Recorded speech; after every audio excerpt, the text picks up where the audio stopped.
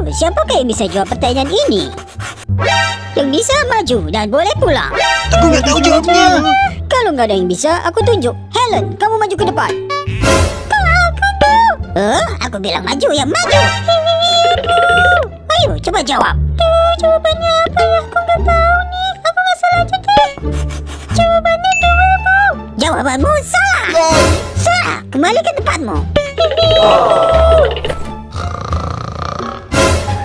Tono, kurang ajar kau tidur di kelas. Bangun kau. Aduh sakit. Maju kau, jawab soal ini. Iya bu. Nih, jawab. Ah ini mah gampang. Jawabannya lima bu.